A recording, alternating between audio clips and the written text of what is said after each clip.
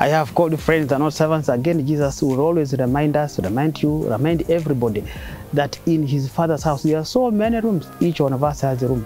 And if we have rooms, then we should rejoice. We should be glad. We should be happy. Today is going to tell us something again that we should remember. And what is that?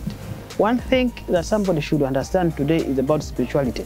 You can be a very good spiritual person, a very good person, a perfect person, and you do all your best. But remember, you are a human being. Being a very good person, being a spiritual person, being connected to God does not mean that you not have difficulties. Difficulties, as I've been telling you, sharing with you, they are part of your life.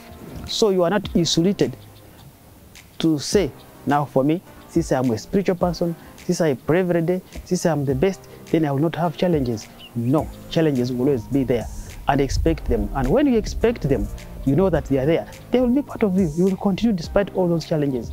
I repeat this.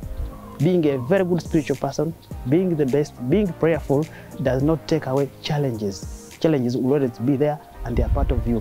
When you understand that, then live life very well, you'll understand it and be a friend to everybody in all situations. It's the good news of Jesus, good news to you, good news from UCTV.